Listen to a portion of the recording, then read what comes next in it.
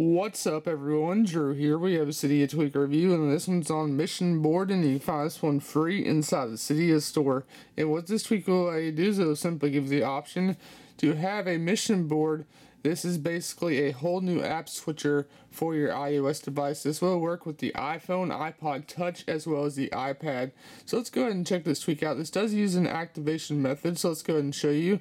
So we do have our activation method up to triple tap the home button. So one, two, three, and it brings up the actual app switcher right here itself.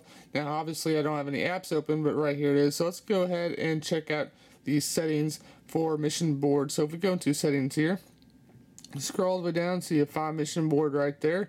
Now inside of here you guys have an activation method. And then here you have the actual website. tweaktuesdays.com is the one that actually made this tweak.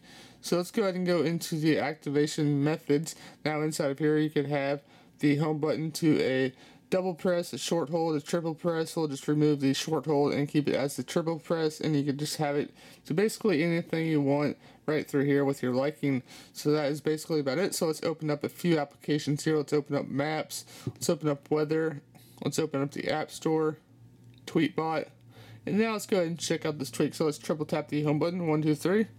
And right there it is. Notice the app switcher, a very nice fluent, and right there it is once again. So you guys can see we can browse through all of our apps and we can see all the windows open and it's better than the standard iOS app switcher and it looks pretty nice. This is the way Apple should have modified the app switcher to begin with. So let's go into the weather application. We get a nice transparent whenever we go ahead and go into an application as well. And we can still access our regular multitasking tray as you can see right there.